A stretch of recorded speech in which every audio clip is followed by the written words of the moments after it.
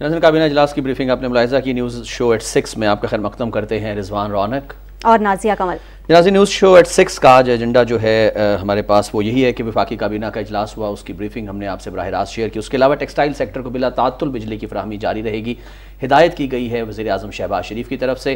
फवाद चौधरी और शीरी मजारी का डिफेंड करना बुशरा बीबी को ये डेफिनेटली मरियम औरंगज़ेब साहबा का कहना है कि ये बेसिकली तस्दीक है कि बुशरा बीबी जो है वो तहरीक इंसाफ का सोशल मीडिया विंग चलाती रही हैं।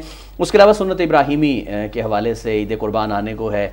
जानवरों की क्या कीमत है? किस तरह से सुन्नत इब्राहिमी का असल फलसफा क्या है? इस पर भी बात होगी। बिल्कुल और इसके साथ साथ कुछ बात मौसम के हवाले से भी कर लेंगे। सबसे पहले पहली खबर को शामिल करेंगे और बात करेंगे कौमी असम्बली की पार्लिमानी कमेटी बरए कौमी सलामती का इजलास तलब कर लिया गया है और ये इजलास कल से पहर तीन बजे कौमी असम्बली हॉल में होगा।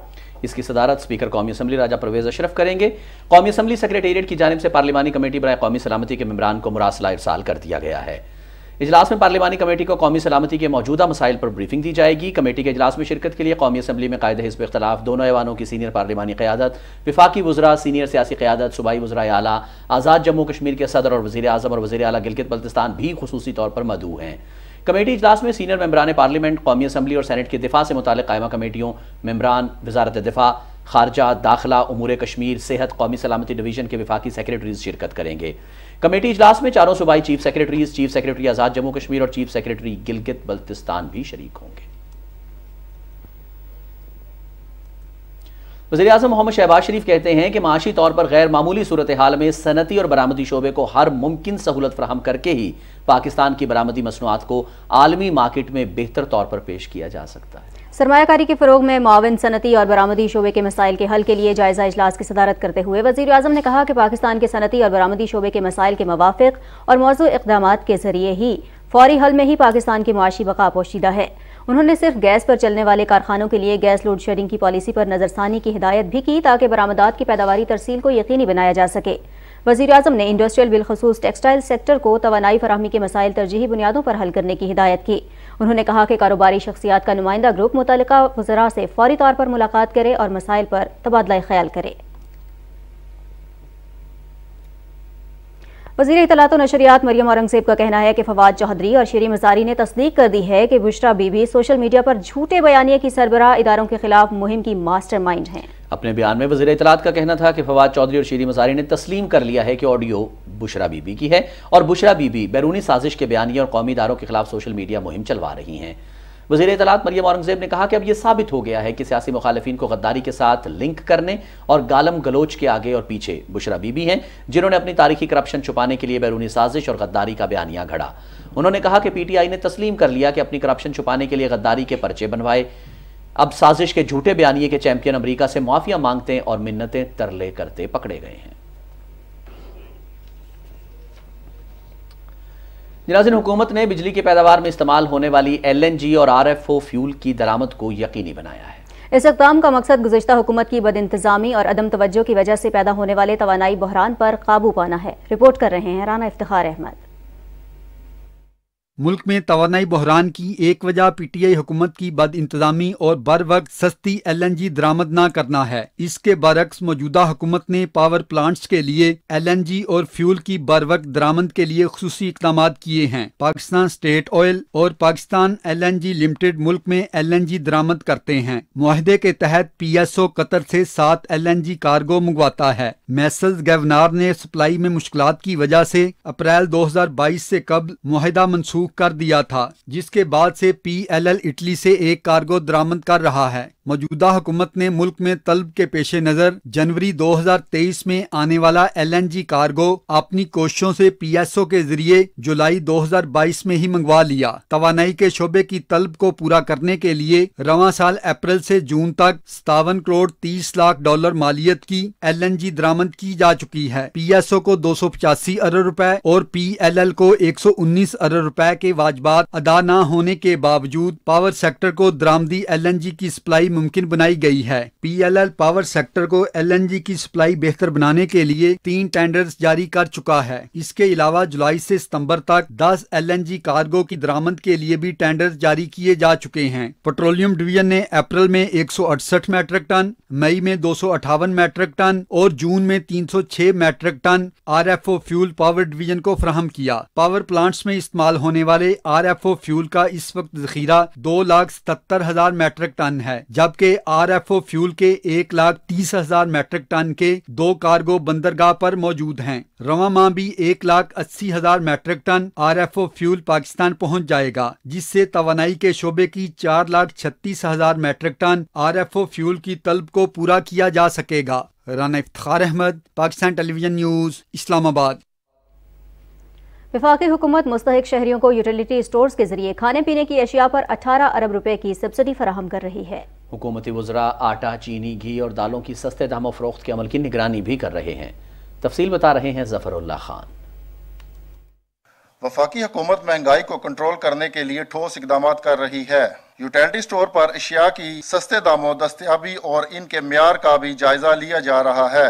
मुल्तान में मिनी मार्केट यूटिलिटी स्टोर के दौरा के मौका पर सूबाई वज़ीर housing and planning Ali Haider Gilani media से गुफ्तगू करते हुए कहा कि दौरे का मकसद अवाम के मसाइल से आगाही हासिल करना और इन्हें हल करना है। हमें घी, चीनी और जो बेसिक यूटिलिटी के आइटम्स हैं, वो उन गरीब आवाम को मैसर हों उन्हीं प्राइसेस पे जिन प्राइसेस पे हुकूमत ने यूटिलिटी स्टोर्स को कहा हुआ है। शहरियों ने यूटिलिटी स्टोर्स पर अशियाए जरूरिया सस्ते दामों फराहमी को हुकूमत का खुशाइन कदम करार दिया है। साढ़े तीन सौ घी का रेट था तीन सौ कर दिया गया है।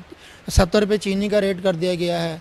इस महँगाई के दौर में अगर ये रिलीफ भी मिल जाए तो बहुत है हमारे जिला इंतजामिया तमाम अजला में प्राइस कंट्रोल कमेटियों के ज़रिए अशिया की मुकर करदा नरखों पर दस्याबी यकीनी बना रही है। अवाम की सहूलत अवलिन तरजीह है। वज़ीर अजम मोहम्मद शबाज शरीफ के हुक्म पर ओ टी पी सिस्टम को ख़त्म कर दिया गया है, जिससे अवाम अपना असल शनाख्ती कार्ड दिखाकर सामान से मुस्तफ़ होगी। Zafarullah Khan, Pakistan television news Multan. जनाजा किस तरह से हुकूमत कोशिश कर रही है? हुकूमत की कोशिश बहरहाल यही है कि जल्द अज जल्द इस माशी बहरान से निकला जा सके जैसे कि तोानाई बहरान है सनती बहरान है वो तमाम की तमाम चीज़ें जो पिछली हुकूमत ख़राब कर कर गई थी उनको ठीक भी करना है और आगे लेकर भी चलना है। इन तमाम इशूज़ पर बात करने के लिए इस वक्त हमें ज्वाइन किया है the most concern person Nadeem Rauf Sahab ने। आप सदर है Rawalpindi chamber of commerce and industries के। असल नदीम रऊफ साहब। जी वालेकुम सर बहुत शुक्रिया पाकिस्तान टेलीविज़न न्यूज़ में हमें ज्वाइन करने का हमें वक्त देने का। ज़रा ये शेयर कीजिएगा वजी अजम शहबाज शरीफ ने आज भी जैसे कहा कि सनती और बरामदी शोबे को हर मुमकिन सहूलत जो है वो फ्राहम की जाएगी। किस तरह से हम अपनी लोकल मैन्युफैक्चरिंग को बढ़ा सकते हैं ताकि बेहतर तौर पर सस्टेन कर सके हमारी इकोनॉमी ऐसा ना हो कि एक विंड इकोनॉमी की तरह कुछ अरसे के लिए बेहतर हो, फिर वही हम वही ज़ीरो पॉइंट पर खड़े हों।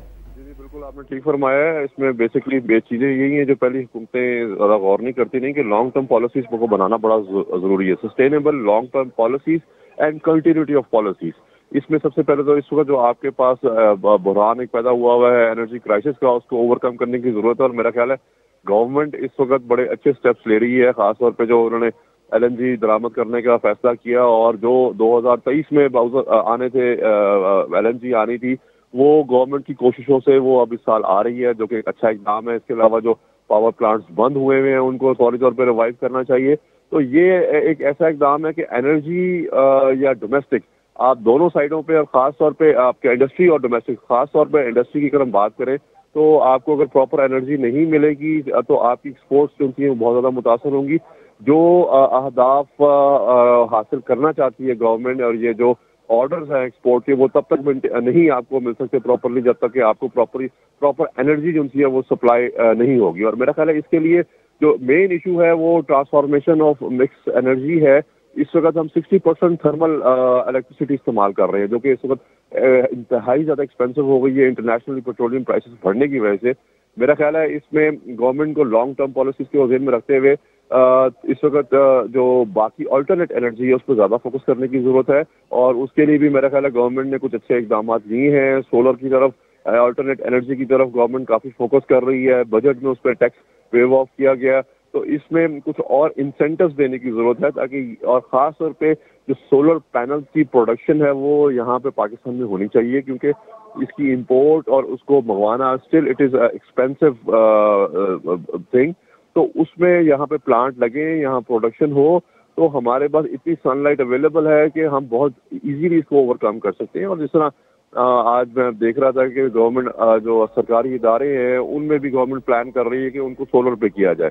तो I think these kind of steps अगर गवर्नमेंट लेगी और उसको रिलीजियसली उसको फॉलो किया जाएगा तो बहुत सारी चीज़ें जो थी वो एड्रेस हो सकती हैं। तो production industrialisation energy conservation and production of new energy houses and power plant and specifically the hydel power जो पाकिस्तान में बहुत ज़्यादा अवेलेबल है पानी उसमें जो प्रोजेक्ट चल रहे हैं डैम उनको एक्सपर्टाइज करने की ज़रूरत है बहुत ज़्यादा और छोटे छोटे हाइड्रल प्लांट्स लगा के उसको मजीद बढ़ाया जा सकता है।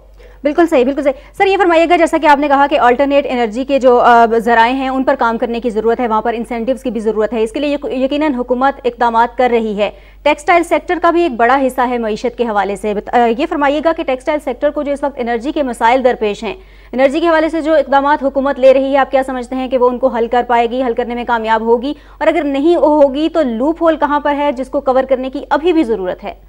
देखिए, लूप होल तो मैंने आपको बता दिया कि लॉन्ग टर्म पॉलिसीज़ बनानी ज़रूरत है। ये कि शॉर्ट टर्म वाला काम है नहीं। आज आप वक्ती तौर पर चीज़ों को हल कर लेंगे। कल दो साल, तीन साल बाद जाके फिर मसले खड़े होंगे। आपकी जो लाइन लॉसेज है बहुत ज़्यादा है। आपकी जो सप्लाई है, आपकी गैस की, आपकी इलेक्ट्रिसिटी की, उसमें उसमें बहुत ज़्यादा फ्लॉज है। सिस्टम अपग्रेड होने की ज़रूरत है। आपका जो जिसकी वजह से बहुत सारे प्रॉब्लम्स आ रहे हैं। आप टेक्सटाइल की बात कर रही हैं तो अभी पिछले सालों में टेक्सटाइल ने बड़ा बूम किया। हमें बहुत ज़्यादा एक्सपोर्ट्स के ऑर्डर मिले। अब उस चीज़ को मेंटेन करने के लिए ज़रूरी है कि आपकी एनर्जी सप्लाई उनको गैस सप्लाई चुनती है वो उसमें बगैर तात्पुल के और बगैर रुकावट के आए। और उसमें डेफिनेटली जो चीज़ें मैंने बताई हैं कि अल्टरनेट एनर्जी एंड सप्लाई जो उसकी है, उसकी जो ट्रांसफॉर्मेशन है, चोरी को रोका जाए और जो लाइन लॉसेज है उनको रोका जाए तो मेरे ख्याल चीज़ें बहुत बेहतर हो सकती हैं और ये लॉन्ग टर्म पॉलिसी बनाई जाए। जी, बिल्कुल लॉन्ग टर्म पॉलिसीज़ बनाई जाए और यही इस वक्त जो है माशी बहरान जो नज़र आता है, उसका हल है। बहुत शुक्रिया नदीम रऊफ साहब, आपने हमारे शो के लिए वक्त निकाला, पाकिस्तान टेलीविज़न न्यूज़ का हिस्सा बने। जी नाजिन जैसे कि नदीम रऊफ साहब भी फरमा रहे थे कि हमें बहरहाल इस वक्त सस्टेनेबल पॉलिसीज़ की ज़रूरत है ऐसा ना हो कि शॉर्ट टर्म पॉलिसीज़ बनाई जाएँ थोड़ा सा फ़ायदा लिया जाए उसको सियासी फ़ायदा भी कहा जा सकता है जो कि मौजूदा हुकूमत बाकायदा इस बात को समझती हुई हमें नज़र आ रही जैसे कि आज भी जो प्रेस ब्रीफिंग दी गई मीडिया इजलास के बाद उसमें उन्होंने काबीना इजलास के बाद उन्होंने यही कहा कि हम शॉर्ट टर्म फ़ायदे भी ले सकते थे हम सियासी फ़ायदा भी हम्म। उठा सकते थे लेकिन बहरहाल हमने रियासत के फ़ायदे को मद्देनज़र रखा हमने अपने सियासी शायद सियासी हमें नुकसान हुआ है जितनी ये फ्यूल प्राइसेस प्राइस हाइक हुई है। और उसके अलावा बहुत सारे ऐसे इश्यूज़ जो हम सियासी फ़ायदा जिस पे उठा सकते थे लेकिन हमने रियासत को देखा है और यही चीज़ें जो है वो सस्टेनेबल पॉलिसीज़ की तरफ़ लेकर चलती हुई बिल्कुल जी और आगे बढ़ेंगे कुछ बात। अब ईद कुर्बान के हवाले से रिजवान करेंगे। ईद कुर्बान की आमद में अब चंद ही रोज़ बाकी हैं और इस हवाले से तैयारियाँ ज़ोरों शोर से जारी हैं। जनाज ने बिल्कुल हज़रत इब्राहिम सलाम की सुन्नत की पैरवी में कुर्बानी करना तमाम साहिब हैसियत मुसलमानों पर फ़र्ज़ है। ईद कुर्बान की आमद आमद है और ईद कुर्बान डेफिनेटली नाजिया जो हम समझते हैं कुर्बानी की ईद उसमें हम जो है वो बाकायदा कोशिश ये की जाती है कि नेक नियति के साथ जानवर जो है चौपाया कुर्बान किया जाए अल्लाह की राह में। निसार मेहमान कौन है हमारे? डॉक्टर अनीस अहमद साहब ने नाजिन हमें ज्वाइन किया है। अब क्या अहमियत है क्या अफादियत है ईद कुर्बान की? इस पर बात करते हैं। असल डॉक्टर अनीस अहमद साहब। वालेकुम डॉक्टर साहब, बहुत खुशी हो रही है, बहुत शुक्रिया आपका कि आप हमारे प्रोग्राम का हिस्सा बने। ज़रा शेयर कीजिएगा, ईद कुर्बान, फ़लसफ़ा क्या है? हम जानवर कुर्बान कर देते हैं, नेक नियति के साथ भी करते हैं, बड़ा जोशो खरोश भी होता है, लेकिन उसके पीछे असल फ़लसफ़ा क्या होना चाहिए, असल नीयत क्या होनी चाहिए, तमाम आलम इस्लाम में मुसलमानों की जानवर कुर्बान करते हुए। देखिए, ऐसा है कि दुनिया की तमाम तहजीबों में कोई ना कोई मौाक़े ऐसे आते हैं जिसमें लोग अपनी तारीख़ के किसी वाक़े को याद करके, किसी शख्सियत के हवाले से कोई त्यौहार मनाते हैं। और उसमें आम तौर पर खेल कूद, नाच गाना किया जाता है। चूँकि इस्लाम एक अखलाक़ी दीन है, वो ये चाहता है कि जो काम भी किया जाए, उसके अंदर इस्लाम का बुनियादी अखलाक वाज हो। ईद क़ुरबान जो है, वो इस्लामी अखलाक का एक मुजाहरा है। इस्लामी अखलाक ये है कि आप एक तो वो तमाम काम करें जो अल्लाह ताला आपसे करने के लिए कहते हैं। चुनाचे अल्लाह की रज़ा, उसकी खुशी, उसकी मर्ज़ी के लिए काम का करना। दूसरे ये कि इसमें कोई शखत परस्ती न हो, बल्कि अल्लाह ताला के दिए हुए अहकाम की पैरवी हो। चुनाचे जो जिस वाक़े की बुनियाद पे ये पूरी तकरीब मनद की जाती है हर साल, वो बहुत ही तारीख़ी वाक़ पाक ने पेश किया, बताया है। कि हज़रत इब्राहीम ने अपने कई दफ़ा ख्वाब देखने की बिना पर अपने बड़े साहबजादे हज़रत इस्माइल से ये बात कही कि मुझे अल्लाह की तरफ़ से हुक्म जाए तो मैं कुर्बान करूँ। ज़ाहिर है अगर एक, इकलौता बच्चा हो बड़ा बच्चा हो और उसके बारे में ये कहा जाए जब वो जवान होने के करीब हो कि उसे कुर्बान कर दिया जाए तो ये बाप के कहने के लिए और बच्चे के सुनने के लिए एक अजीब व गरीब सूरत हाल पैदा होनी चाहिए। लेकिन हम देखते हैं कि दोनों का जो रद्द अमल है, वो जो मैंने आगाज़ बात तर्ज की कि अल्लाह ताला की बंदगी और इतात चुनाचे वो कहते हैं कि जो आप हुक्म दिया गया है, आप कीजिए, आप मुझे बिल्कुल साबिर शाकिर पाएँगे। और बगैर किसी खौफ के कीजिए। लेकिन अल्लाह ताला ने जब ये इम्तिहान कर लिया तो उनके इम्तिहान के बाद बजाय इसके कि इंसानी कुर्बान की जाती अल्लाह ताला ने उनके लिए एक मेढा फराहम कर दिया, जिसे कुर्बान किया गया। अच्छा अब जो हम इस दौर में ये काम करते हैं तो ये महज उनकी नकल नहीं है बल्कि ये इस बात की तासीस है इस बात का रिवाइवल है इस बात का ताज़ा करना है कि जिस तरह से दोनों वालिद और बेटा अल्लाह के मुकम्मल बंदे बन गए थे और उन्होंने ये कहा था कि मेरी ज़िंदगी मेरी मौत मेरा जीना मेरा मरना सब अल्लाह के लिए है। और ये वो कलमात हैं। कुर्बानी अदा करते हैं जामा गुजरा करते हुए पूरे सराती की माए हमारे रबीआलमीन तो जो आ, अमल किया गया वो इस बात की अलामत है कि अल्लाह ताला के हुक्म के सामने बेटा हो अज़ीज़ हो ज़मीन हो मकान हो हर चीज़ कुर्बान की जा सकती है। तो ईद कुर्बा जो पैगाम देती है पहली बात वो ये कि एक साहिब ईमान के लिए तकाजा ये है अल्लाह ताला की तरफ़ से कि वो अपनी तमाम शख्सियत को, अपने वजूद को, अपनी फ़िक्र को, अपने ताल्लुकात को हर चीज़ को अल्लाह की मर्ज़ी का ताबे कर दे। बिल्कुल अल्लाह की मर्ज़ी का ताबे करे। बहुत शुक्रिया डॉक्टर अनीस अहमद आप हमारे साथ मौजूद थे मजहबी स्कॉलर हैं और कुर्बानी के हवाले से बहुत तफसीली बात भी की और कुर्बानी की जो असल रूह है रिजवान उस पर उन्होंने रोशनी डाली कि कुर्बानी जो है वो दरअसल खुद को और अपनी ज़िंदगी को रब ताला की मर्ज़ी के उसकी रजा के ताबे करने का नाम है। जी बिल्कुल ऐसा ही है जैसे कि उन्होंने भी फरमाया बहुत खूबसूरत बात की कि जानवर कुर्बान करना सिर्फ़ उनकी नकल नहीं है हज़रत हम्म। इब्राहिम सलाम की। ये असल में उस फ़लसफ़े का नाम है कि आप अपनी सबसे प्यारी चीज़ जो है, वो कुर्बान करते हैं खुदा की राह में। खुदा को गोश्त की, खून की ज़रूरत नहीं है। खुदा सिर्फ़ और सिर्फ़ हमारी नीयतें देखता है। खुदा ये देखता है कि क्या वाकई ईमान के कामलियत के उस दर्जे तक मुसलमान पहुँचा है कि वो अपनी सबसे प्यारी चीज़ भी मुझे देने के लिए, मुझ पर कुर्बान करने के लिए तैयार है। जनाज इसके साथ ही प्रोग्राम का वक्त जो है, वो अपने अख्ताम को पहुँचता है। रिजवान रौनक और नाजिया कमल को और हमारी टीम को दीजिएगा इजाज़त। देखते रहिए पाकिस्तान टेलीविज़न न्यूज़।